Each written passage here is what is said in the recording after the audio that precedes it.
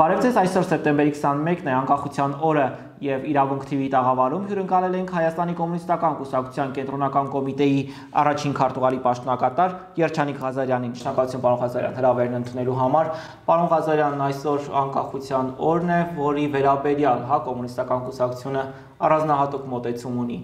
Նախ ուզում եմ հենց այս խորհրդին անդրադառնալ, հա, ի վերջո ինչ տվեց այս անկախությունը, եթե փորձենք գնահատել։ Այս անկախությունը ժողովրդին ոչինչ չի տվել, ոչ մի լավ բան չի տվել, բացի տանջանքներից, զրկանքներից, սովից, աշխատատեղերի կորցնելուց, արտագաղթից եւ սպիտակ եղեռնից սեփական ժողովրդի հանդեպ, որը իրականացվել է անկախության այսպես կոչված այս 30 տարիների ընթացքում։ Պարոն Ղազարյան, մարդիկ նշում են, որ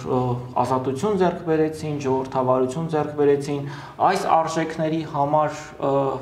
արժեր գնալ այսպիսի շրջադարձային Ուրեմն ժողովուրդը մտածում էր, որ միտինգ էին անում, դուրս են գալիս ցույցերի, որ սառնարաներում ամեն ինչ լիքներ, այդպես լիքներ լինելու էր, սակայն իրականությունը լրիվ 360 աստիճան լրիվ ուրիշ էր եւ ժողովուրդը միայն այս ընթացքում կրեց զրկանքներ։ Իսկ ազատությունը դա բացարձակ ազատություն ոչ միտեղ գոյություն չունի, ընդհանուր միջև ԱՄՆ-ն էլ գոյություն չունի, ԱՄՆ-ում էլ գոյություն չունի, բացի այդ կան բազմակի ստանդարտներ այսօր գոյություն ունեն աշխարհում եւ դա ժողովրդավարությունն էլ դա ինքը կեղծ կատեգորիա է, քանի որ մենք այս 30 տարիների ընդհանրապես արևմտյան բոլոր երկրները ցույց են տալիս, որ դա ժողովրդավարություն չի, դա ժողովրդավարության անվան տակ ժողովրդի զրկանքների եւ տանջանքների հասցնում։ Միայն դա է, ոչ մի նորմալ բան այս ընթացքում չի եղել։ Եթե մենք ուշադիր նայենք ժողովրդավարության ավանտակ, որտեղ իրենք են իրենց մարտիկը ինչ անում են, ծեծում են, ջարդում են ցույցերի, երթերի ժամանակ իրենց ամեն ինչ կարելի է ասում են ոչինչ չունա, բայց մեր շունն է։ Իսկ մնացած որտեղ որ իրանց չեն ենթարկում, իրենց վերահսկողությունից դուրս են, նրանք նրանց օր ու արև չեն տալիս եւ նրանց դեր դասեր եւ խրատ են տալիս ինչ անեն ոնց անեն այսինքն դրսից խառնում են տվյալ երկրների ինքնիշխանությանը տվյալ երկրների անկախությանը եւ ավելին ասենք հիմա Հայաստանը անկախ չի ասեմ ինչի համար քանի որ այն ժամանակ երբ որ մեզ մեղադրում էին որ ղեկավարումը մի կենտրոն էր միայն ղեկավարումը Մոսկվայից հիմա ով քնից շուտ զարթնես ղեկավարումը եւ թելադրումը Հայաստանին դա ո՞րն է դա անկախությունը եւ և որն է դա ազատությունը եւ ժողովրդավարությունը արդեն ես ասացի որ դա կեղծ կատեգորիա է եւ դրանից բացի էլ այս ամբողջ տարիների ընթացքում մենք համոզվել ենք դա որ ոչ մի լավ բան չի բերել ժողովրդին իշխանությունը մեկը մյուսին փոխարինում է ցավոք սրտի ամեն ինչ մնում է նույնը ոչ մի բան չի փոխվում եւ ժողովրդի վիճակն էլ չի լավ չի լավանում միջև այսօր չի լավացել եւ չի լավանալու քանի որ սա համակարգի էությունն է բուն կապիտալիստական համակարգի էությունն է կապիտալիստական համակարգում այսպես է ոչ թե ընկերն ընկերոջը ընկերն ընկերոջը, այսինքն մարդը մարդուն ընկեր եւ բարեկամը, այլ մարդը մարդուն գայլա եւ գազանա գիշատիչ առաջնորդում են տվյալ հոգեբանությամբ եւ մեկ մարդ պետք է հարստանա, իսկ հազարի հազարավորները դրա համար պետք է աշխատեն նրա հպատակը։ Դա էլ կապիտալիզմի օրենքն է։ Եվ միջև այսօր էլ դեռևս մարդկությունը սոցիալիզմից լավ ոչ մի բան դեռևս ոչ հնարել է եւ մենք համոզված ենք ոչ էլ հնարելու է եւ մեր սոցիալիզմի հետ ընթացը դա ժամանակավոր է եւ ապագան միևնույն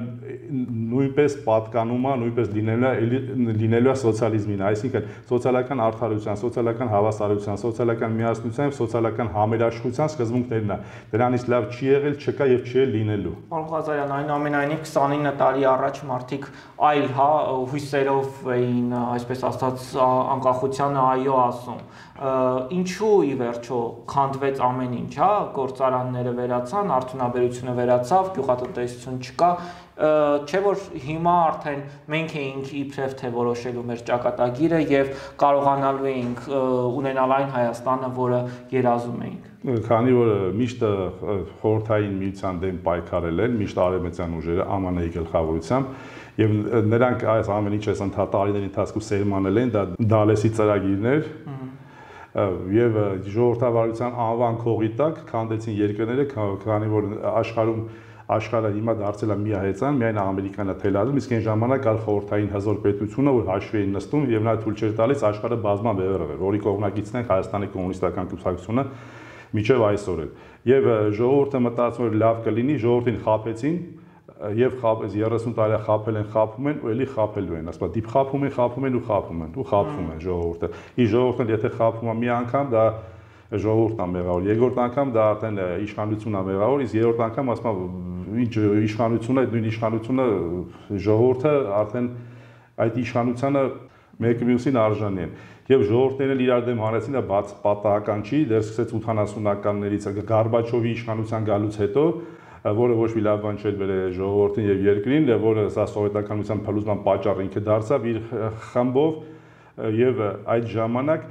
ազգամիջյան հարաբերությունների հրահարմամբ նրանք նաեւ քանդեցին, քանի որ արևմուտքը գտավ որ ինչի հիման վրա ինչ ինչը առաջ տանելով ծիլերը սաղմերը գցելով կարող է երկիրը քանդել, երկրները քանդել եւ երկրները վերածել սպասարկող երկրի, որը միջև այսօր էլ Հայաստանում շարունակում է Հայաստանը համարվում է միայն սպասարկող երկիր եւ արևմտյան գործակալների, արևմտյան ֆոնդերի, արևմտյան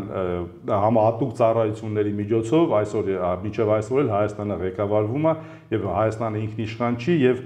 ժողովրդի սպասումները չեն արդարացել, չեն արդարանում եւ այս համակարգի պայմաններում չեն էլ արդարանալու։ Պարոն Ղազարյան, այս ամենը սկսվեց 29 տարի առաջ, նկատի ունեմ այն ինչ արևմուտքը ծրագրում էր Հայաստանի հետ կապված, թե շատ ավելի վաղ, հա, 100 տարի առաջ նկատի ունենեմ, երբ սկսվեց հայ-թուրքական պատերազմը եւ Հայաստանը ըստ էության մնաց մենակ, որովհետեւ այն ժամանակ այդ մարդիկ մարդկանց ներարկում էին, որ Ռուսաստանը, այսպես ասած, պետք է Ռուսաստանից հետ քաշվել, մարդիկ նույնիսկ ճշնամաբար էին հա Ռուսաստանին վերաբերվում, ունեցանք թուրք հայկական պատերազմ, ինչին էլ հաջորդեց շատ տխրահրճակ պայմանագրեր Ալեքսանդրապոլ, Կարս եւ այլն եւ այլն։ Ուրեմն 18 թվականին եկած իշխանությունները, դա այսինքն 100 տարուց ավելի ավելի այս պատմությունը, եկած իշխանությունները ճուզենալով գործ ունենալ Ռուսաստանի հետ, այդ ժամանակ բոլշևիկյան Ռուսաստանի հետ լսում են անգլիացիների տերերին, ամերիկացի տերերին, պատահական չի, որ Հովանես Շիրազն ասում էր, երբեք չեմ մոռանա ով ամերիկակու մի կտոր հացը որփաբաժին, երիքը մի հատ բռնչար եւ ժողովուրդը կփրկվեր։ Ցավոք դա չեղավ, ցավոք 100 հազարավոր մենք ունենք սովիալներ, խոլերա, տիֆ եւ այլն աղքատ ժողովուրդ եւ այդ ամենի վրա նրանք թույլ չէին տալիս ելնելով այդ իրավիճակից էլ այն ժամանակվա իշխանության նրանք թույլ չէին տալիս որ նրանք փորձեն ինչ որ ձևով փորձեն հարցել լուծել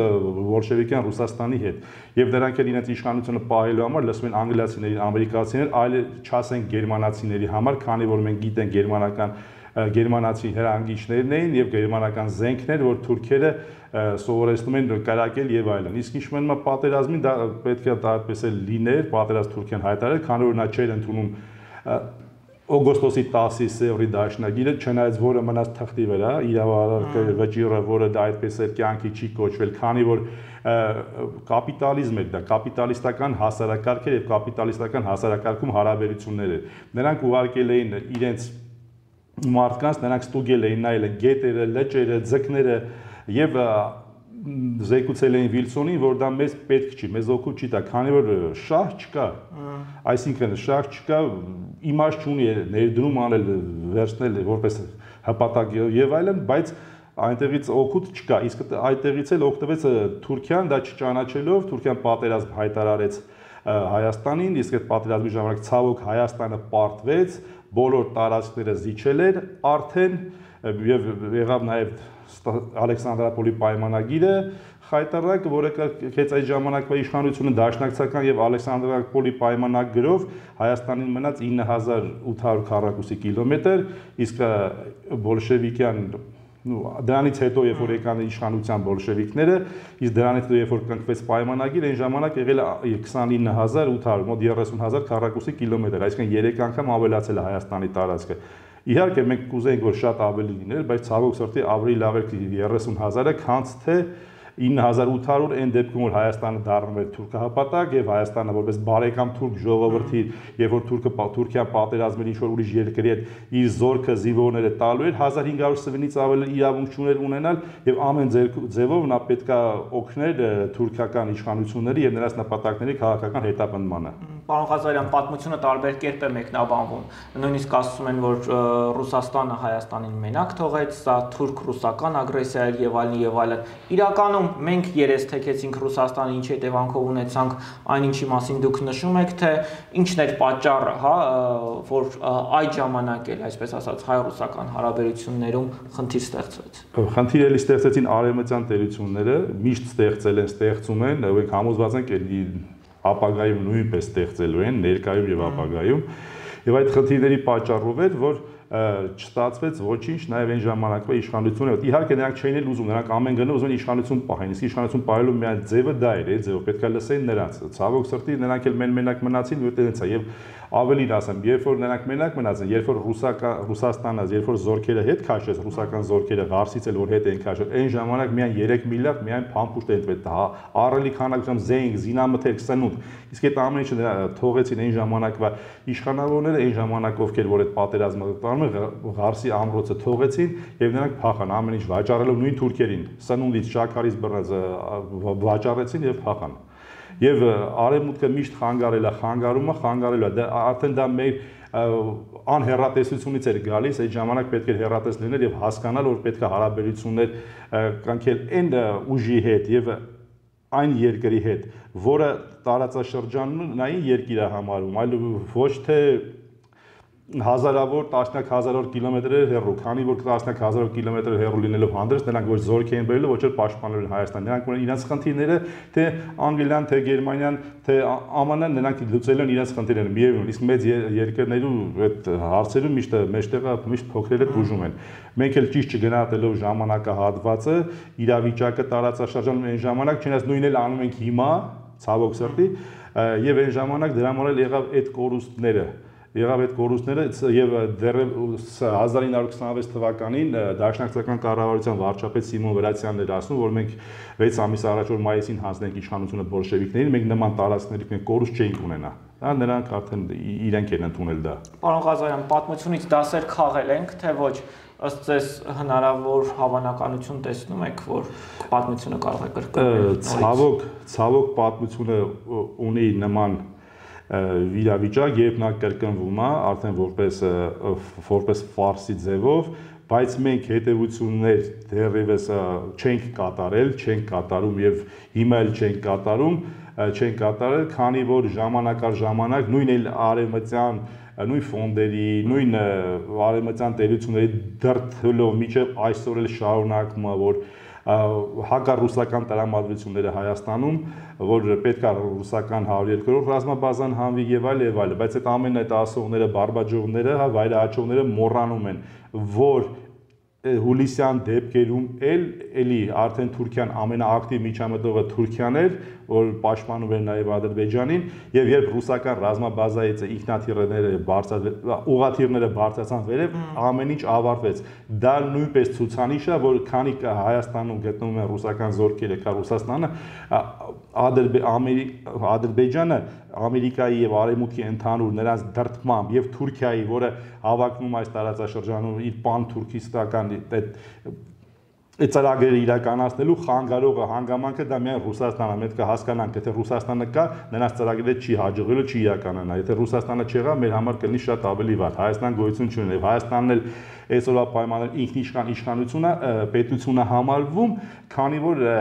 նա ունի մեջքին կանգնած Ռուսաստանի նման հզոր պետություն, ռազմավարական գործընկեր եւ դաշնակից գործընկեր։ Պարոն Ղազարյան, այն մարդիկ, ովքեր Ռուսաստանի դեսպանատան դիմաց տարիներ շարունակ ակցիաներ էին անում, հիմա հայտնվեցին իշխանությունում։ Սրանով հակառուսական տրամադրությունները վերացան, թե պարզապես այլ բնույթ են կրում հիմա բնավ դրանք չեն վերադարձել, նրանց հակառուսական էությունը ոնց կար այդպեսին մնացել է։ Հիմա փոխել են իրենց մարտավարությունն է փոխվել միևնույն է նրանք քանի որ իրանք ուրիշ տարբերակ չունեն չեն կարող իրենց արևմտյան տերերը իրենց թույլ չեն տա որ իրանք ուրիշ բան անեն իհարկե հասկանում եք որ իշխանությունը քաղցր բան է որ իշխանության մեջները փորձում են հարմարվել օգտվել այդ կերակրա տաշտակից, պարգևատրումներից եւ այլն փորձում են ինչ-որ ձևով այդ հավասարակշռված անել դա, բայց միևնույնն է դա զգացնել է տալիս եւ պատական չոր տարբեր տեղեր հակառուսական եւ ընդհանրապես արևմուտքի կողմից, սորոսականների կողմից իրականացող ինչ որ արշավներ, ինչ որ միջոցառումներ, ինչ որ քայլեր, ցույցեր լինում է, պարտադիր նաեւ Հայաստանից նման այդ անձինք նրանք անպայման ներկա են լինում, մասնակցում են չի բացառում որ դուրս գա որ նաև Բելարուսում էլ ինչ որ մարդիկ մասնակցել են, որը Վրաստանում հաստատ մասնակցել են, Ուկրաինայում մասնակցել են,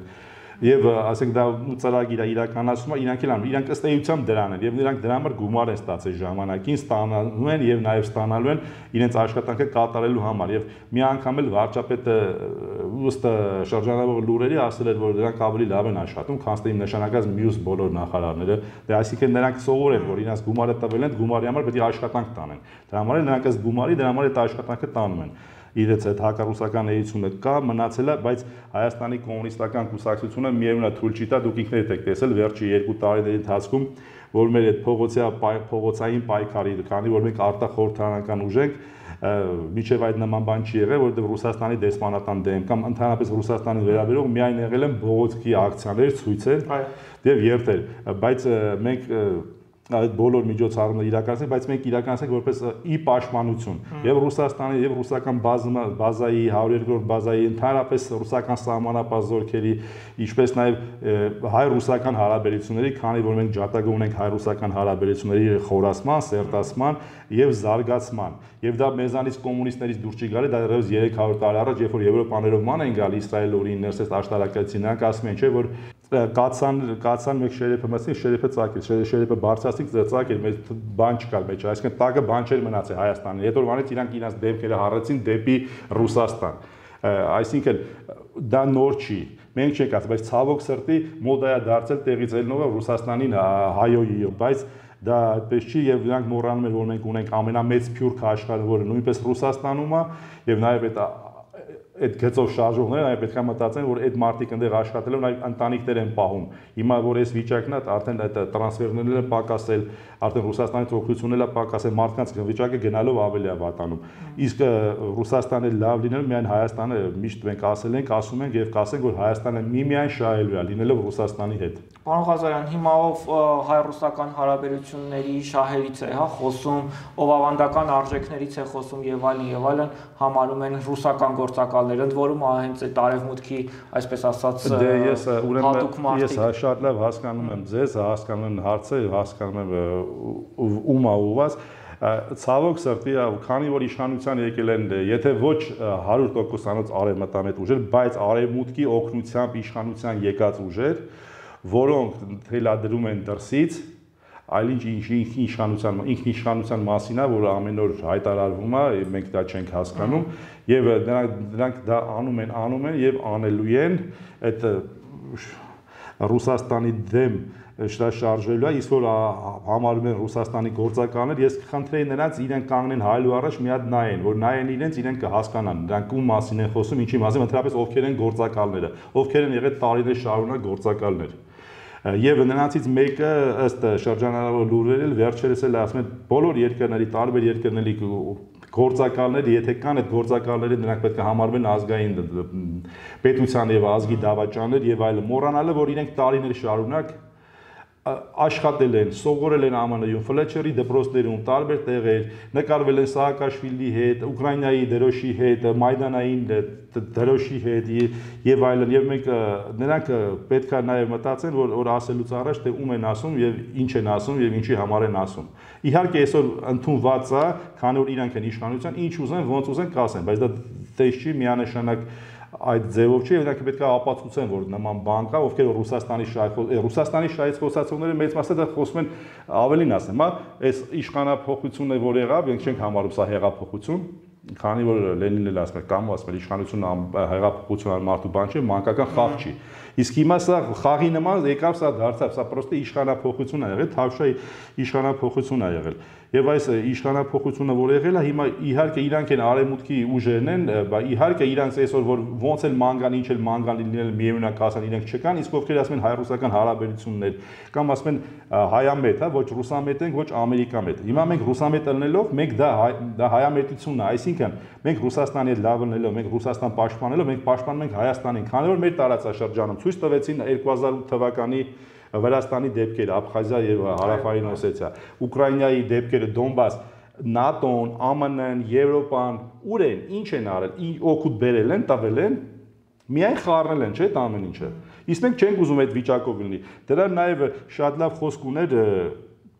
Մարշալ Հովանես Բաղրամյանը, որ ասում էր, իրեն հարց էին տվել, դու ասում են Մարշալ դու ինքդ ռուսերեն ես խոսում լինելով հայ, ասում էր այ խոխա Ես շիները հակիս, սապոկները հակիս, անցարածի Ռուսաստանը երկիրը ոտի տակ եմ տալիս թոզի հողի մեջ, որ դուք հայ մնաք։ Ես խոսում եմ ռուսերեն, որ դուք հայ մնաք։ Դա շատ խորիմաստ ասա խորիմաց խոսքեր է, որը ասել է այն մարդը, որը այդ ամեն ինչի միջով անցել է, այդ ամեն ինչը գիտեր եւ ամեն ինչը տեսել էր։ Եվ միանշանակ մենք որ ասում ենք մենք ռուսամետ ենք, որ դա ժողովրդի մեծ մասի սրտից հոգուց է բխում։ Մենք չենք ասում այսօր Ռուսաստանում ինչ իշխանություն է, ովքեր են, ինչ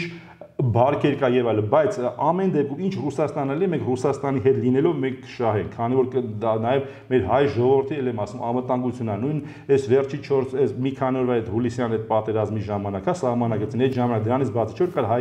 ռուսական նաեւ օպերատիվ խումբ կար, որը այդ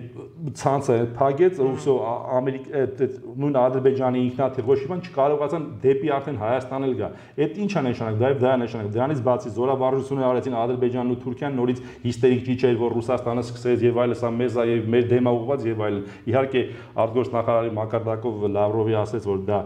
տեսի ոչ մի երրորդ երկրի չի, բայց բոլորս էլ հասկանում ենք, դա զսպիչ գործոներ, որը պահեց իրանց ավելի լայնամասշտաբ եւ ավելի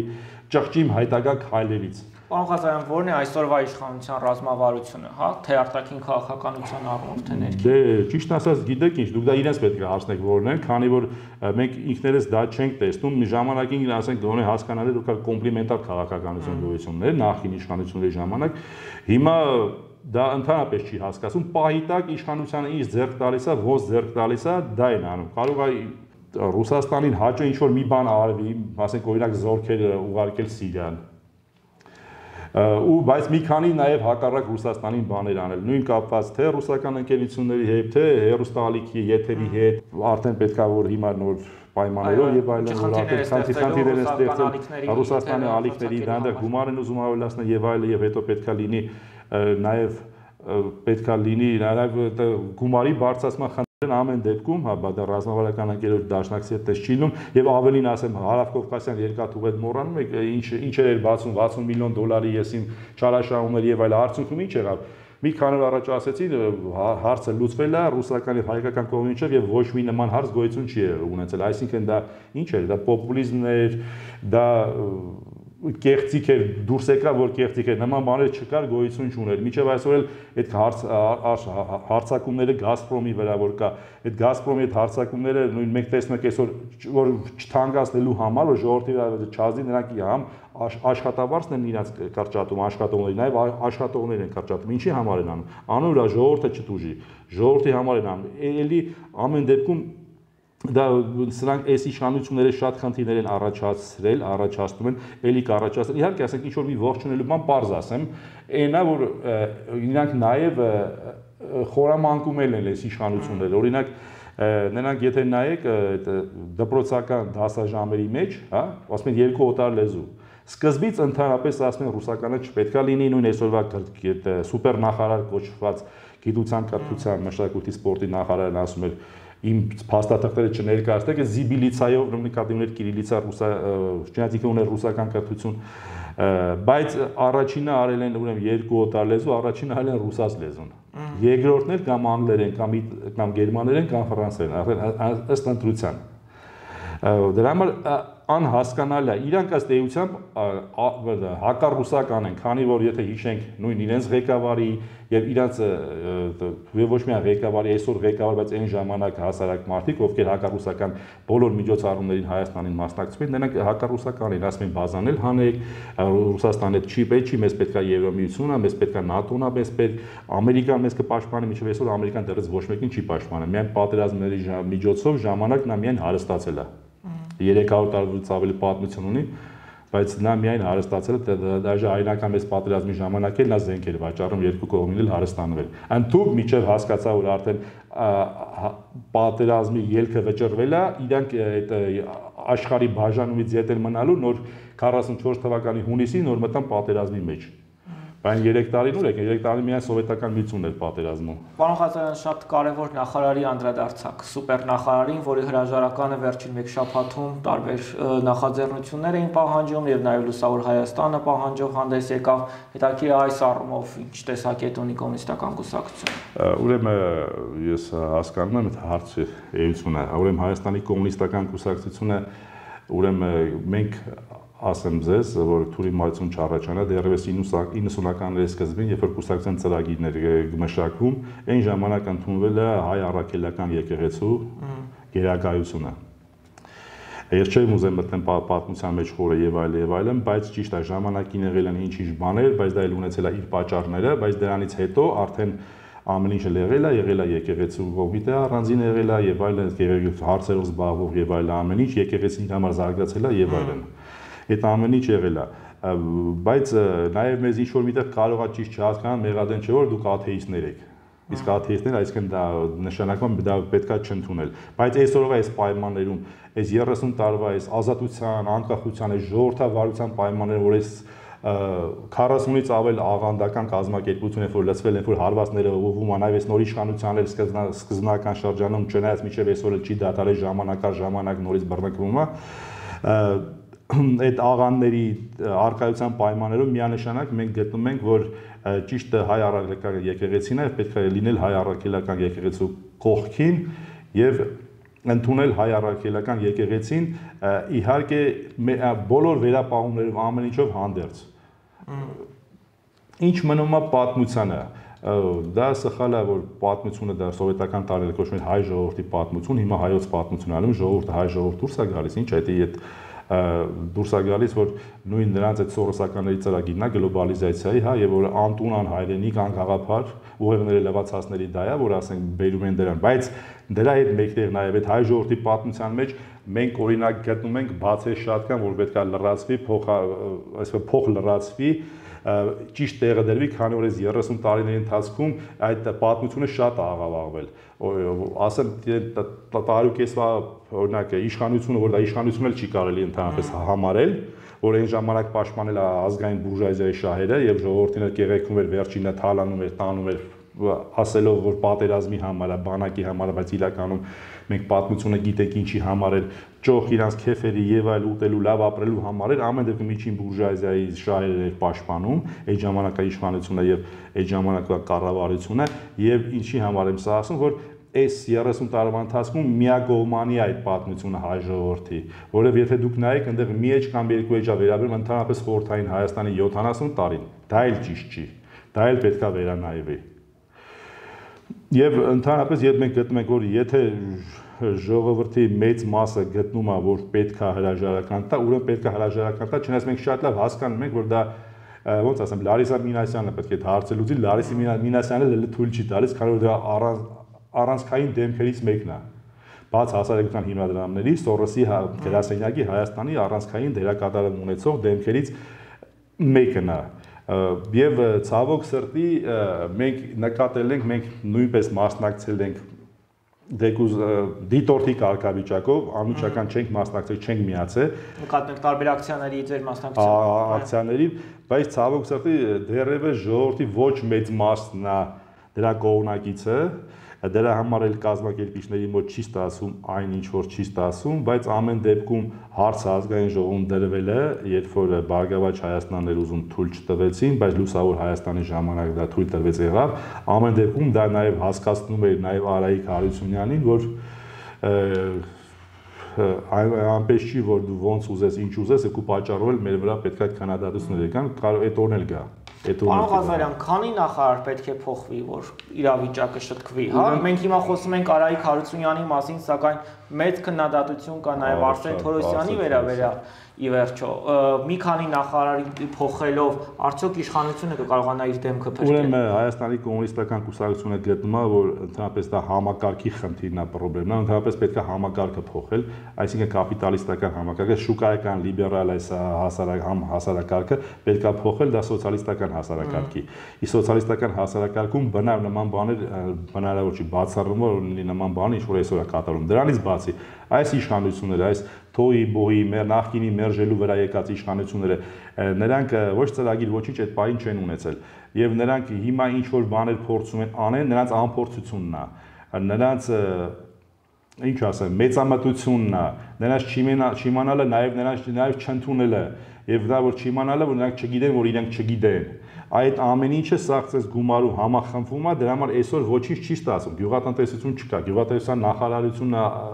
չկա վարչություն են ստեղծել։ Հիմա ժողովուրդը նույնն է ժողովուրդը, ով որ բերել էր իրանց իշխանության, այսօր այդ ժողովուրդը մնացել է իրանց բերքի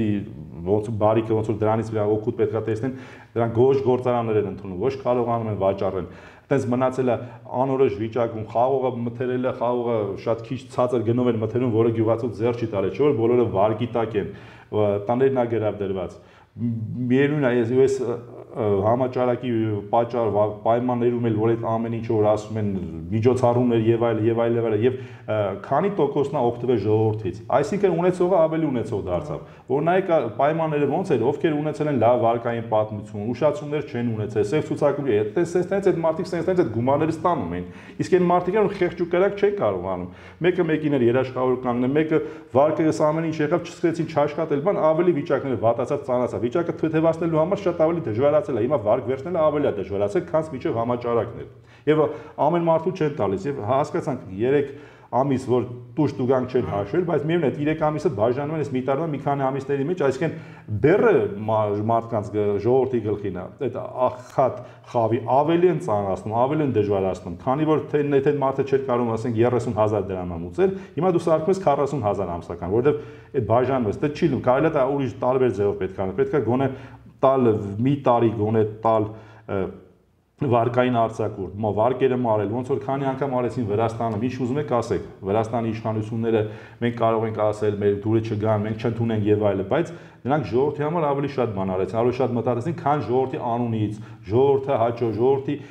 կողմից բերված իշխանությունները, ովքեր ասում են 3 միլիոն վարչապետ կա, այդ ոնց է, մի մի վարչապետը կամ իր թիմով շատ լավ ապրում այսօր, պարգևատրում ամեն ճաշում, բայց մնացած 3 միլիոն վարչապետերը ոչ ասելու, ոչ խոսալու, ոչ իվանի իրավունք չունեն։ Հիմա մի բան էլ խոսում ես, հիշում ես սոցիալական հերավորությունը, հիշում են դիմակը եւ այլն եւ տանում են համապատասխան տեղերը, վարչական տուգանքներ եւ այլն։ Պարոն Ղազարյան, այ անդրադարձակ համավարակին Ռուսաստանը արդեն պատվաստանյութ ձեռք է բերել, այսինքն ստեղծել է եւ փորձարկումները ցույց են տվել, որ այն բավական դրական, հա, ազդեցություն ունի։ Ինչու Հայաստանը չի շտապում ձեռք բերել դրանք ձեր կարծիքով։ Հայաստանը, ասեմ, ձեզ մենք գտնում ենք, մենք նաեւ հայտարարություն ենք տարածել այդ ուղությամբ, ողջունելով Ռուսաստանը, որ ստեղծել է առաջին աշխարհում վակցինան, այդ կորոնավիրուսի դեմ պայքարի եւ մենք առաջարկել ենք մեր իշխանությանը, որ այսինքն ոչ թե առաջարկել ենք, հորդորել ենք, որ անպայման կոհորտորել կոչանելով հորդորել ենք, որ նա դիմեն Ռուսաստանի իշխանություններին անհապաղցեն բանակցություններ վակցինա ձեռք բերելու շուրջ։ Քանի որ արդեն 1200-ից ավել մենք մահ ունենք, այդ մահերը կոպիտ ասած հիմա ում վզինա, ով պետք է պատասխան տա։ Մեկը մյուսը գցելու չի։ Եթե դուք նորմալի նորմալ որ կարողանայիք այդ սովետական տարիներից մնացածներ սանիտարահիգիենիկ այդ բոլոր մեխանիզմները եւ այլը որ մնացած լիներ որ բոլորը քանդած չլինեն ձեր օպտիմալիզացիայի անվան տակ թե հիվանդանոցները թե պոլիկլինիկաները այսօր անհամեմատ վիճակը ավելի լավ կլիներ ավելի կառավարելի կլիներ օրինակ Ռուսաստանում ավելի կառավարել է որովհետեւ Ռուսաստանում դեռևս բաներ մնացել են իհարկե այնտեղ էլ շատ բաներ այլևս գոյություն չունի թեկուզը, բայց հիմնականում դրանք պահել են, կորիզը մնացել էր, կար եւ դրա համար նրանք կարողացան ավելի հեշտ այդ վիճակից դուրս գալ։ Իսկ մենք անապահ պետքա սկսենք եւ խնդրենք մեր ռազմավարական դաշնակցին, գործընկերոջը, որ նա մեզ էլ նույնպես վաճառել կամ նույնպես մեր համար Հայաստանի համար, այսինքն Ռուսաստանի համար Հայաստանի 1 միլիոն վակցինա տրամադրելը հիմա Հայաստանում մենք բոլորս էլ գիտենք, որ 3 միլիոն ասենք ասում ենք, բայց որ 3 միլիոնը չի ապրում նու ինչ որ քանակ ապրում, մեկ 1 միլիոն էլ հերիք էր, չէ՞, 3-ից 1-ին թեկուզ ասենք պատվաստելու, որովհետև դա այն հարցն է, որ մարդիկ կլեն կարող հրաժարվեն էլ դա չի բացառվում բայց ամեն դեպքում ռուսաստանի համար 1 միլիոն ինչա 1 միլիոնա նվերել կտար ինչու՞ չի գնում այդ քայլին? Այդ քայլին որովհետև իրենք պայմանավորվածություններ ունեն իրենք ասած չէ նուբար աֆեյանի ինչ որ եւ ամերիկյան հա պատվաստանն ու եւ այլն իհարկե դրել տերեր կան մարդիկ կան որ անում են գումարները այնտեղ նրանց հետ պետք է աշխատի, նրանց հետ գումարը, ասեմ Ռուսաստանը դա դաժե 1 միլիոնը կարող անվճարել տրամադրի Հայաստանին։ Դրա համար պետք է նորմալ հարաբերություններ մարդկային Ռուսաստանի հետ, ոչ թե հարաբերությունները հնարավորիչափ վատթարացնել, վատթարացում, այլ գոնե գնալ ռազմավարական գործընկերոջ հետ նորմալ դաշնակցային հարաբերությունների եւ սեփ չխարելով հայ-ռուսական հարաբերություններում մենք հաստատ համոզված ենք որ Ռուսաստանը Հայաստանին միանշանակ կողքներ, քանի որ Հայաստանը հարավային Կովկասում մնացել է միակ հենարանը Ռուսաստանի, Ռուսաստանը չի կա, ուրիշ բան չի անի, որովհետեւ նա էության մեջ նա չկա։ Միևնույն է, վերջում էլի կողքնի Հայաստանին, միանշանակ կողքնի Ռուսաստանը այդ լեզու չգտնելու պատճառով է ձեր կարծիքով որ այսօր հայաստանցիները չեն կարողանում Ռուսաստան մեկնել եւ այդ ցույցերը այսպես ասած շարունակվում են ես հասկանում եմ ավելին իհարկե միանշանակ դա է բացի այդ քանի որ մեր իշխանությունները սկզբին հիշում եք սահմանադրական հանրակրվեի ցույցեր միտինգներ էին անում, երբ որ ասում են պինցետով եւ այլն, կորոնանում շունն է եւ այլն, փաստորեն շատ մեծ էլ շուն էր եւ ոչ թե շուներ, այլ կարելի ասել այռուցից ավելի վերան գազաներ եւ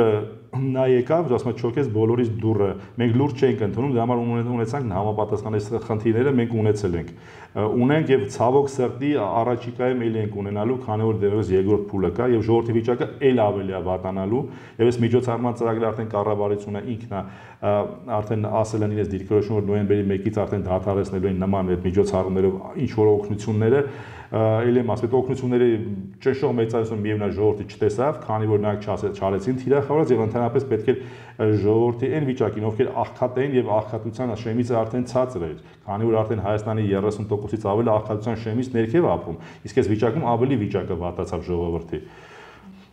որն է ելքը, պարոն Ղազարյան։ Բարգավաճ Հայաստանը 100%-անոց կառավարության փոփոխություն էր առաջարկում։ Ես գիտեմ, որ կոմունիստական կուսակցությունը հայտարարությամբ էր հանդես եկել դեռ ամիսներ առաջ ի աջակցություն Գագիկ Ծառուկյանի։ Հետարքի այս գաղափարին եւս կաջակցեք թե ոչ։ Ուրեմն մենք գիտեք, ասում եմ, ես կարող եմ ասել իմ անձնական տեսակետը, որովհետեւ մեր կուսակցությունում նման այդ հարցը ելնելով այս համավարակից, համավարակից, մենք իհարկե առաջնորդվելով այս կարանտինի եւ ընդհանրապես արտակարգության պայմաններով, հա, բարետատան որոշումներով մենք դեռևս բյուրոյի նիստ չենք արել, որ բյուրոյի ժամանակ որոշենք, բայց հայտարարությունը ճիշտ է ասում եղել է, քանի որ մենք գտել ենք գտնում ենք, հիմա էլ ենք գտնում, որ ոչ թե պետք է անգնել ընդդիմադիր ուժերի հետևից, գտնեն խորհրդարանական թե արտախորհրդարանական։ Տվյալ դեպքում խորհրդարանական ամենամեծ ընդդիմադիր խմբակցության ներ վերաբերում եւ նրա ղեկավարին այլ այդ ամեն ինչը պետքա թողել քաղաքական այդ ամեն ինչը թողնել այսօր այդ վիճակը չի այդ իրավիճակը չի պետք է հիմա ժողովրդին պետք է օգնել երկիր էս վիճակից հանել քանի որ նաեւ գալիս է համաշխարհային տնտեսական ճգնաժամ որը նույն նույն այդ եվրոպացիների իրենց գնահատականներով տնտեսագետների որ միևնույն 5 տարի պետքա որ այդ վիճակից դուրս գան որ կարողանան հետ գա նախկինը 5 տարի կտևի որ կպահանջվի որ այս համաճարակի պատճառած վնասները, որ վերականգնվեն։ Իսկ դրա համար մենք գտնում ենք պետքա ժողովրդի սոցիալ-տնտեսական խնդիրները այս պահին լուծել, այլ ոչ թե ներքաղաքական կամ անձնական կամ անձնային խնդիրներ լուծել կամ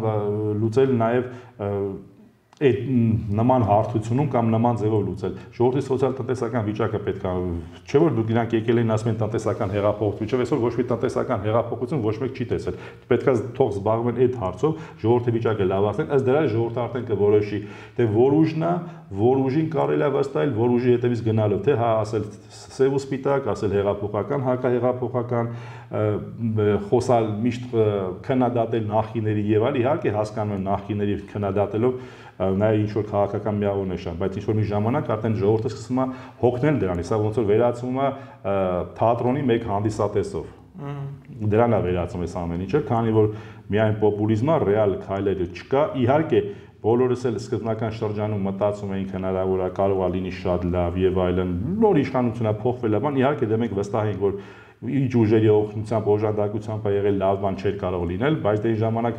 շատ քչերն էին մեզ լսում հիմա նոր քիչ-քիչ ցավոք սրտի քիչ-քիչ նոր արդեն ժողովուրդը զոմբիացված վիճակից թմբիրից արթնանում է թե ինչքան ժամանակ դրա համար կպահանջվի դա ես այսօր չեմ կարող ես ինքս դա ասել, որովհետև կարող է լինի 1 ամիս, 2 ամիս, կարող է լինի գարունը, կարող է գնա միջև հաջորդ խորհրդանական ընտրություններ կարող են ամեն դեպքում այսօր տարբեր քաղաքական ուժեր հանրահավաքներ են իրականացնում, հայտարարություններ են անում, հա, միասնական շարժում է ստեղծվում։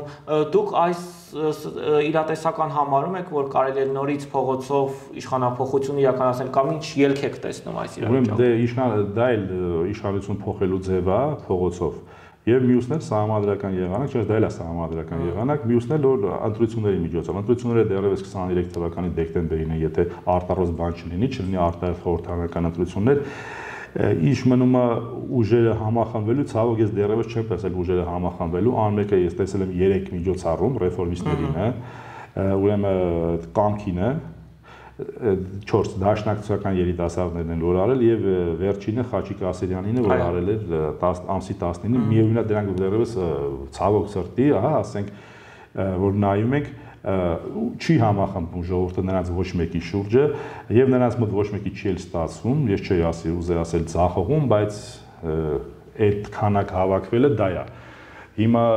մենք գտնում ենք, որ ինչ որ մի ժամանակ միևնույն է ստիպած լինելու են բոլոր ուժերն միավորեն։ Իհարկե, եթե մտածում ոչ թե անձնական կարելիզմի կամ ամբիցիաները պետքա դնեն մի կողմ, երկրի մասին պետքա մտածեն, քանի որ մենք այն տարածաշրջանում մենք ունենք երկու թշնամի, Ադրբեջան եւ Թուրքիա, պետքա մտածել երկրի մասին, պետքա մտածել ժողովրդի մասին, ամեն ինչ դնել մի կողմ եւ մանավանդես համաճարակի պայմաններում փորձել գտնել եզրեր ընդհանուր համագործակցելու եւ ժողովրդին այս վիճակից հանելու։ Իսկ ինչքան ժամանակ կտևի, դա մենք չենք կարող ասել, որովհետեւ հիմա նույնիսկ առանձնի պայմաններում, եթե հավաքվի 1000 հոգի, կարող է այդ 1000 հոգին միտինգը թույլ չտան կոպիտ ասած։ Չի բացառվում, բայց ամեն դեպքում համախմբվելը կարելի է գտնում ենք այդ ձևով իշխանություն էլ փոխել, բայց ցավոք սրտի բոլորը որ կապվում են նախկիների հետ, նախկիների ոնց որ համ կացորդ, համ նախկիներից են գալիս, դրա համար չի ստացվում։ Դրա համար ներկա իշխանության մոտ էլ ստացվում է այդ ամեն ինչը դեռևս այս վիճակում պահելը, իրենց ձեռնտու իրավիճակում պահելը, քանի որ բոլորը կապվում են նախկինների հետ Ի տարբերություն մնացածին մենք Հայաստանի կոմունիստական կուսակցությունը կապված չի եղել, միշտ քննադատել է իշխանություններին, անդիմությանն էլ եղել է անդիմություն, ելնելով ոչ թե նրանից, որ անդիմությունա դրա համար ենք մենք քննադատում նրանց, որ մենք էլ ենք անդիմություն, ոչ, որովհետև իրանք անդիմություն են, բայց իրանք նույն համակարգ է, իրանք նոր բան չեն ասում, իրանք ասում են գանք մենք այս նույն համակարգում մի քիչ ավելի լավ է կանենք, ծերերից լավ կանենք։ Իսկ մենք ընդհանրապես մենք համակարգի փոփոխության կողմից ենք։ Դրա համար մենք ընդդիմության էլ ընդդիմ։ Այս իրավիճակում որևէ ուժի հետ համախմբման եզրեր տեսնում եք ինչ որ փուլում։ Ես ես հասկացա, ինչ որ մի փուլում հնարավոր է համախմբվել իշա Հայաստանի Հանրապետության, իշա հայ ժողովրդի եւ նաեւ մենք գտնում ենք որ կարելի է միայն ռուսամետ ուժի հետ իհարկե մենք կառաջնորդվենք մենք կուզենք որ համախմբվեին մեր դերոշի ներքո, բայց ցավոք սրտի Հայաստանում կոմունիստ անունը լսելուց ժողովուրդը չէ, քաղաքական ուժերը դեռևս աշխատում են հերրու մնալ բայց ամեն դեպքում դա կլինի մենք բյուրո որ ասում ենք պատահական մինչև հիմա կոմունիստները իշխանության են այսինքն բոլորովին էլ անցած этап չէ կոմունիստի չէ եւ մենք նույնպես գտնում ենք դա անցած этап չի դա ժամանակավոր նահանջ է եւ գալու է ասում եք գալու է եւ ելնեք այն Հայաստանի որ գալու է վաղը սովետական Հայաստանը խորթային Հայաստանը եւ սոցիալիստական Հայաստանը մենք համոզված ենք դա գալու է որովհետեւ այս իրավիճակով տես ամեն ինչ փորձեցին ամեն ինչ ՀՀՇ-ներ, ՀՀՇ-ից հետո հանրապետական, դաշնակցական, կիսակառավարություն կոալիցիաներով եւ այլը շատ չասեք, բոլորն եկան, բոլորը ժողովուրդը բոլորին տեսավ։ Ահա եկավ նաև մյուսը, որ ասում են մերժելով մյուսին եւ այլը, եւ մերժել այդ ամեն ինչը, մերժել հինը, միջև այսօր մերժում են ամեն ինչը, քննադատելով նախքին եւ այլը եւ այլը, բայց տեսա որ այդ միևնը դա էլ իրանց ոչի չի տալի։ Միասինու խոսքերը չի, գործն այս գործը մեն ապացել է կոմունիստական կուսակցությունը 70 տարիների ընթացքում, որ ստեղծել է, կառուցել է, արարել է։ Այսօր ինչ տեսնում եք 90%-ից ավել դեռ սովետական տարիների կառույցներ են, այս բազմահարկերը եւ այս նոր եվրո ստանդարտներով շենքերը չհաշված։ Դրանից բացի եկել է, ասենք, այդ արտասահմանյան մեքենաներից բացի մնացածը միևնույնն է դեռևս խորհրդային տարիների ստեղծածն է։ Եվ ավելին ասեմ, այդ խորհրդային տարիների ստեղծածն է, որը քանդվեց, քանդվել է 90 թվականին, սկսել է ՀՇ իշխանության ժամանակ Լևոն Տեր-Պետրոսյանի գլխավորությամբ։ Մենք նույնպես գտնում ենք միգուցե կարող է ստեղծենք իշխանության հետ համամիտ ենք այս հարցով, որ պետքա ովքեր որ թալանել են քանդել են, նրանք պատասխանատվության պետքա ենթարկվեն, բայց պետքա 90 թվականից Լևոն Տեր-Պետրոսյանի ժամանակվանից մենք շատ լավ հիշում ենք դրամը փոխելը, երբ որ 50000 ռուբլի մարդկանց ձեռից իրենց խանայողությունները եւ գումարները վերցրեցին տվեցին 200 դրամ Մենք շատ լավ հիշում ենք սեփականաշնորհման ավանդակ գործարանները լրիվ վաճառեցին վաուչերներով, վաուչերը գինը սկզբից 20000 դրամ էր, բայց ժողովրդին ցանկաչոք պայեցին այնքան այն աստիճանի հասեցին ժողովրդից ձեռից խալեցին, առան 1000 դրամ, 2000 դրամով։ Այդ գործարանը ինք իրենցով արեցին։ Առավելևս այդ գործարանները բոլորս գիտենք, որ եթե արդյունաբերություն չաշխատի, երկիրտնտեսություն չկա, զարգացում չի լինի։ Մնացածը սա սուտ է սա կեղծ կատեգորիա։ Ինչ արեցին։ Մի հաստոցի գնով գործարաններն են լրիվ ծախել, մի հաստոցի գնով։ Հետո այդ գործարանները, որ այսօր ցաղ դարձել են օլիգարխներ, մեծահարուստ անունները փոխվել է, խոշոր սեփականատերեր եւ այլը, այդ ամեն ինչը մեջի ծախելը, պատելը, քանդելը, տրամվայի գծերը եւ այլը, սա այսօր դառել է մեծահարուստ, սա հարուստ, սա միլիարդ հատեր են դառել, մոռանալ, որ էլ այդ ժողովրդի թալանն է, այդ այդ գումարը, որ կա տեղից է եկել, ժողովրդին թալանելու շնորհիվ է եկել դառել։ Իսկ այդ էլ 70 տարիների չարքաշ աշխատանքով քրտնաջան աշխատանքով իրաց պապերից չէին բերել, պապերը չէին տվել, ոսկիները հո չէին թողել։ Այդ մարդը ինչ այդ այդ արեցին։ Սկսեք, եթե պատասխանատվության եք ենթարկում։ Ուրեմն եղեք ազնիվ միջև վերջ։ Ենթարկեք բոլորին։ Բոլորի սկսած 90 թվականից, որովհետև այդ ամեն ինչ այդ վայրի ամեն ինչը սկսել է 90-ական թվականներին։ Այդ ժամանակվանից ասել, համաձայն եք, դու պատասխան տամ, բոլորն էլ այդ ժամանակ էլ, այդ ժամանակվանից սկսեք Եվ ասենք ինչ է նշանակում նույն հաջողության մեզանից էլ ամեն ինչ խալել են կոմունիստական կուսակցությունից։ Առավելևս չէ որ կոմունիստական կուսակցության ժամանակ կոմունիստերի անդամաճաներով կառուց շենքեր կար կառուցված տարբեր բաներ ամեն ինչ խալել են, ամ ոչ ինչ չեն թողել։ Չնայած Լևոն Տեր-Պետրոսյանը ունի որոշում Գերագույն խորհրդի Դրանից բացի նաև որոշում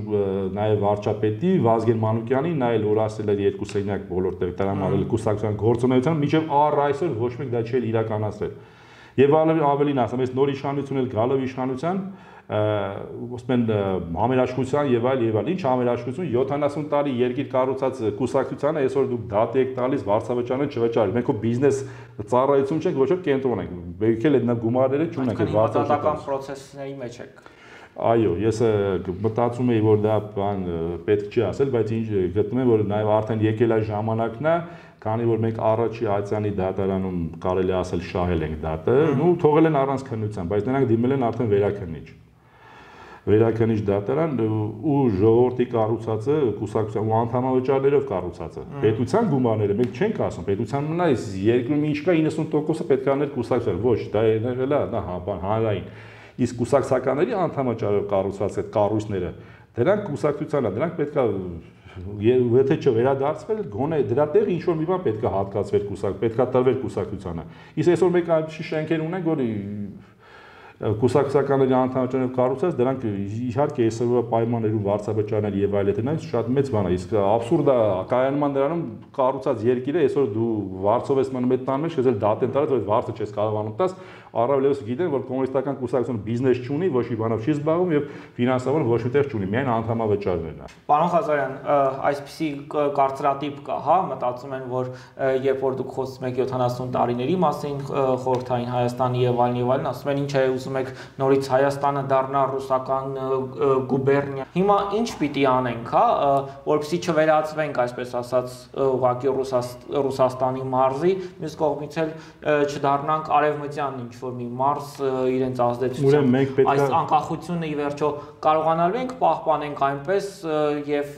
խոսքի ազատությունից բացի հացի մեջ դնելու էլ ինչ որ բան ունենանք։ Ես իմ մեր հարցազրույցի սկզբում էլ ես ասացի, որ անկախ բացարձակ երկիր չկա, կարող բացարձակ անկախության նման անկախություն նման արժեք գոյություն չունի։ Ընդհանուր պայմանն էլ բացարձակ բացարձակ անկախ չի, ավելին ասեմ այդքան որ նրանք ասում են սեփականություն, դեռ կան պետական կոնցերններ, հիմնարկություններ, թե Բրիտանիայում, թե Գերմանիայում, թե Ֆրանսիայում, թե իսպան բոլոր երկրներում ԱՄՆ-ի գլխավորությամբ է դա կա ուրեմն ասեմ դες մենք իմ եթե անձնական տեսակետին իհարկե այս որ հանրապետությունները դարձել դա դարձել դա Լենինի շնորհիվ է եղել, ինչքան էլ շատերը այսօր փորձում են չընդունել Հայաստանում կապված համապատասխան եւ պահերի, որ չեն հասկանում, որ այդ պահն այդ ձևի է եղել, ուրիշ տարբերակ չի եղել այդ պահին, իրավիճակը ժամանակն է եղել այդ ձևի իշու էր միտեղ նաև մարտիկ նաև խապել են իրեն բայց ամեն դեպքում Լենինի սա սկզբունքները որ բոլորին պետք է տալ ինքնորոշման իրավունք եւ բոլորը պետք է լինեն առանձին հանրապետություններ իսկ Ստալինը գտնել բոլորը պետք է լինեն մարզի կարգավիճակով Ռուսաստանի կազմում իհարկե կյանքը ցույց տվեց որ ավելի ճիշտ էր այս պահին ես չեմ ուզում ոչ մեկին քննադատեն բայց ցույց տվեց Ստալինը ասեմ ինչի համար որ ճիշտ էր Ստալինը որովհետեւ եթե Հայաստանը գտնելն էր Ռուսաստանի կազմում իհարկե այդ դեպքում լինեն բոլոր հանրապետությունները միանշանակ մենք համոզված ենք, որ քանի որ հայ-ադրբեջանական խնդիր չէր առաջանա։ Միանշանակ չէր առաջանա։ Այսօր Ռուսաստանի կազմի մեջ մտնող տարբեր ազգեր կան։ Խնդիր ազգամիչան ինչ որ մեկի մոտ առաջանում է, պատերազմներ լինում է, այդ ժամանակ միանշանակ չէր լինելու։ Չէր լինելու, կլեն ընդհանուր մի կազմի մեջ ու ոչ մեկ նրանց թույլ էլ չէր դա, փորձեն էլ, եթե ինչ որ տեղից ինչ որ ձայն բարձած, միևնույն է ոչինչ չէ ստացվի մենք գտնում ենք էդի ճիշտ է։ Իսկ ինչ մնում է, որ մենք հիմա Ռուսաստանի հետ մեր անկախությունը պահենք եւ մեր էլի պահենք, Ռուսաստանը չի ասում դուք ձեր անկախությունը կորցրեք։ Ի տարբերություն արևմուտքի, որը մենք վստահ ենք, որ միևնույն է, որովհետեւ մենք արևմուտքին Ռուսաստանին մենք պետք է որպես ռազմավարական գործընկեր, որպես հեյնարան հարավային Կովկասում չկա ուրիշ, եթե Հայաստանը դուրս եկավ, նայեք Թուրքիան ուր է գալու հասնի, միջև Ռոստով գալու է հասնի այդ տարածքներով սա գրավելով գալու հասնի։ Հայաստանը նաև զսպող գործոն է։ Դրա համար Ռուսաստանը միշտ ձեր ձեր կատարած Ռուսաստանին Հայաստան լինի եւ լինի ուժեղ հզոր Հայաստան։ Իսկ արևմուտքին դա պետք չի։ Արևմուտքին պետք է խամաճիկ, որը օգտագործեն Ռուսաստանի դեմ իրենց քաղաքական, աշխարհակաղակական շահերը առաջ տանելու համար։ Միանշանակ դա տենցա ու տենցա լինելու ու այս պատմությունը կյանքը ցույց է տալիս, որ տենցա արևմուտքը միայն իր շահերով եւ ավելին ասեմ եւ այն վերջի պահին արևմուտքը գցում է իր մարկանց գցում է, իհարկե բան բար չի, բայց գցում է, քանի որ նայեք նույն Կադաֆին, Կադաֆիից բացի նայեք նույն ասենք Ասադը մենք շատ ենք պաշտպանում, բայց նա էլ թեքվել էր։ Արդյունքում ինչ եղավ։ Էլի նույն ԱՄՆ ամենձևի ուզում է անի։ Սադամ Հուսեյնին նայեք, նա էլ է շուրեկել։ Խոսնի Մուբարակին նայեք, որ մեկին ուզում եք նայեք, միևնույն է այդ պահին իրանց պետքա իրան շահից օգտագործում են։ Հենց իրանց շահերից արդեն էլ չբխեց, արդեն ոնց որ է տալիս են որպես ժերտվա են տալիս կոպիտ ասած։ Արդեն նրանք այդ ձև են առաջնորդ Ռուսաստանը երբեք իր դաշնակիցներին չի դավաճանում, երբեք իր դաշնակիցներին չի գցում եւ նեղ դժվար ծանր պահին օգնելա, միշտ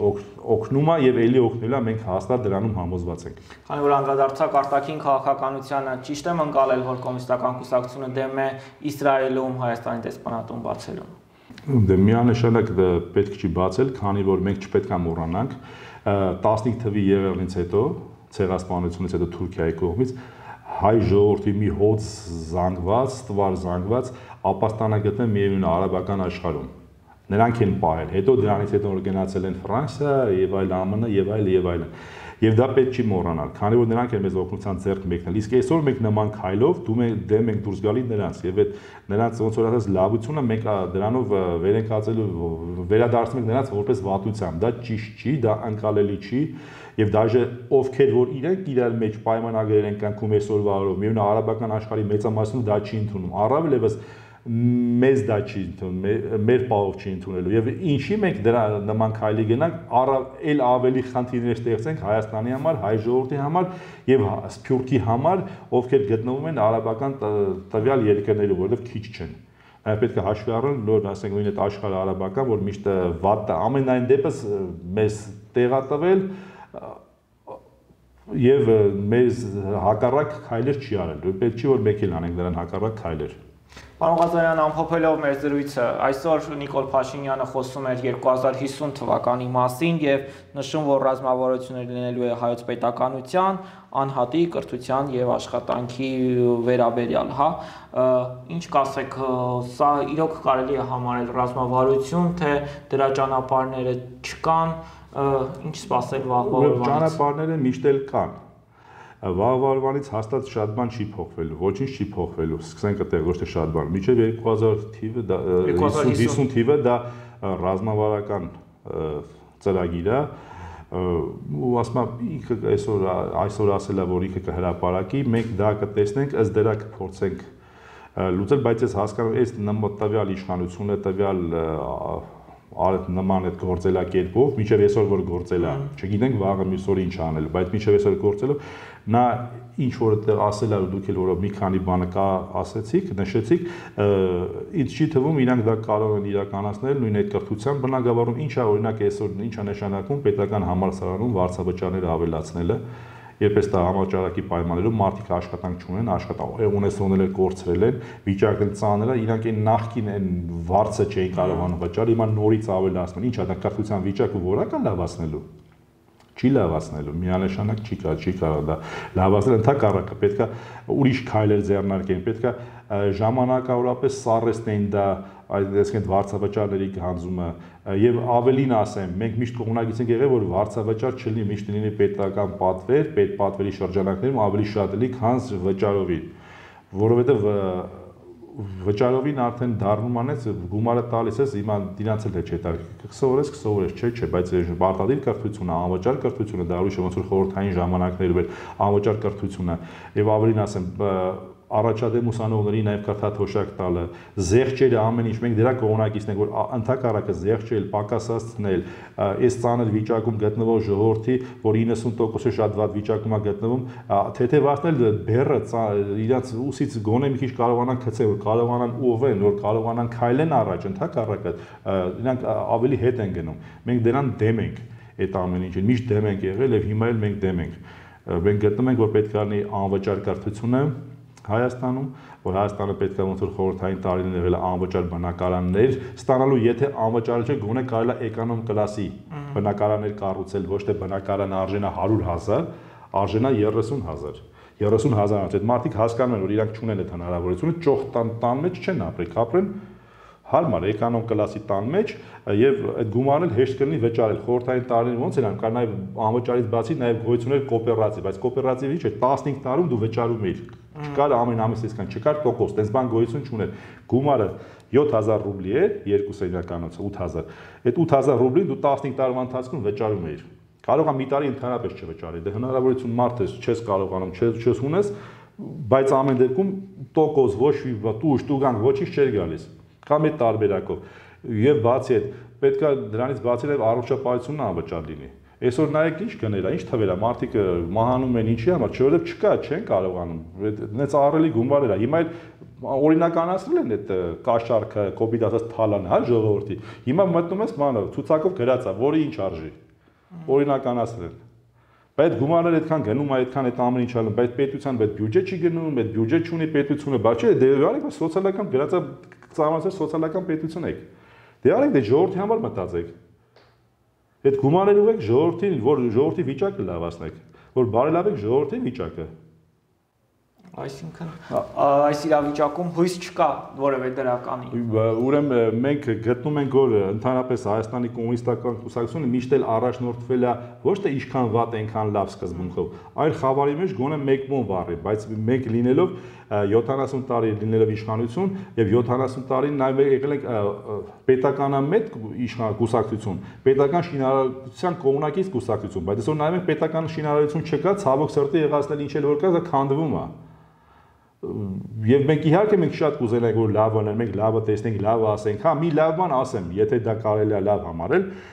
օրինակ դրա մեջ ասում անկախատեսելի է այսօրվա ղեկավարը պետության։ Հիմա նա գլխավոր խորհրդական է իրան ընտրել, նշանակել։ Այդ գլխավոր խորհրդականը, ինչքան մենք գիտենք, ինչքան իրեն ծանոթ ենք շփումների եւ այլը,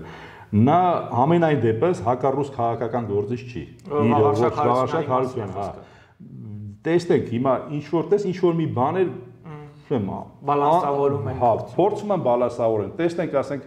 կփոխվի քաղաքականությունը, մեզ քաղաքականությունը պետքա փոխվի ժողովրդի հանդեպ։ Քաղաքականությունը փոխվի Ռուսաստանի հանդեպ ամենակարևոր։ Կարևոր այդ երկուսը որ փոխվեց, իրավիճակն կամած-կամած սկսի փոխվել։ Ցավոք սրտի այսօր չենք տեսնում դա, քանի որ ասենք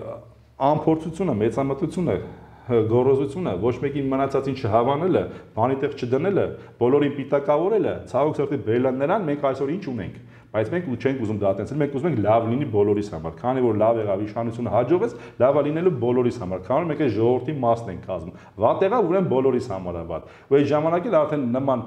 ինքնահավան իշխանությունը պետքա պատասխան տա իր արածների եւ իր չարածների համար եւ իր սխալների համար էլ։ Շնորհակալ եմ հետաքրքրության համար։ Խնդրեմ։